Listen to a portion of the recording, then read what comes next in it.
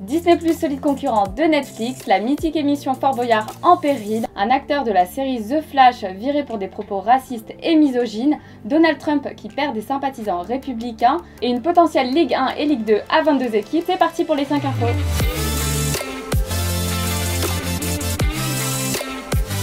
En peu pour être heureux, vraiment très peu pour être heureux. Disponible en France depuis le 7 avril dernier, la plateforme de streaming vidéo dirigée par Bob Chapek effectue un carton. En plus d'un mois, elle comptabilise déjà plus de 54 millions d'abonnés et une prévision à 76 millions d'abonnements d'ici la fin de l'année. On est encore loin de détrôner les 6,7 millions d'abonnés français adeptes du Netflix and Ça, c'est sûrement dû au confinement, mais le géant américain a plus d'un tour dans son sac. En réunissant l'univers Pixar, Disney, Marvel et des documentaires nationaux géographique, le groupe offre un large choix pour petits et grands. Selon les projections, Disney pourrait atteindre 200 millions d'abonnés d'ici 2025. Ce monument est en péril. Ce sont les propos alarmants d'Alexia Laroche-Joubert, la productrice de l'émission mythique Fort Boyard.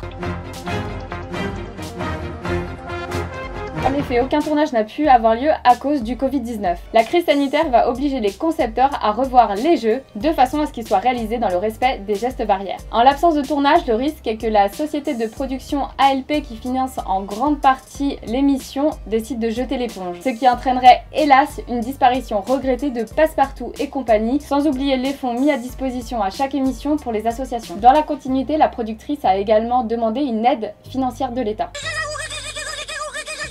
Véritable carton depuis sa sortie en 2014, la série The Flash est cette semaine au cœur d'une polémique. L'un de ses protagonistes, Harley Sawyer, plus connu sous le nom de Ralph Dibny, a été viré pour des propos racistes et misogynes entre 2009 et 2014 sur Twitter. La série diffusée sur la chaîne CW Television Network a décidé d'écarter l'acteur de 35 ans. Dans un communiqué publié sur le site Hollywood Reporter, la chaîne précise que les propos tenus par Sawyer vont à l'encontre des valeurs et de la politique de CW. Des propos qu'il regrette mais qui ont quand même profondément touché Eric Wallace, noir américain, scénariste et directeur de la série sur la saison 6.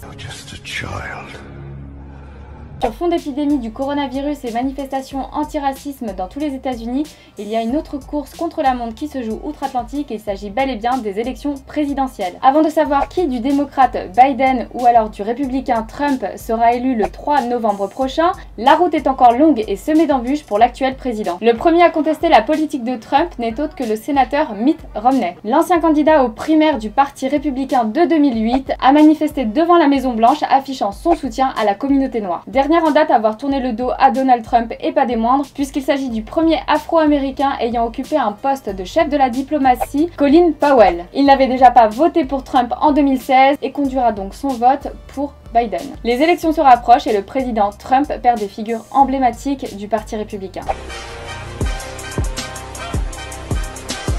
Décidément entre le couac de l'arrêt définitif de la Ligue 1 et la question des droits TV, il apparaît un nouveau casse-tête et il concerne les questions de relégation et de maintien dans les deux ligues professionnelles. En effet, l'actu sportif de la semaine nous provient du Conseil d'État qui a décidé de suspendre le principe de relégation sauvant Amiens et Toulouse d'une descente en Ligue 2.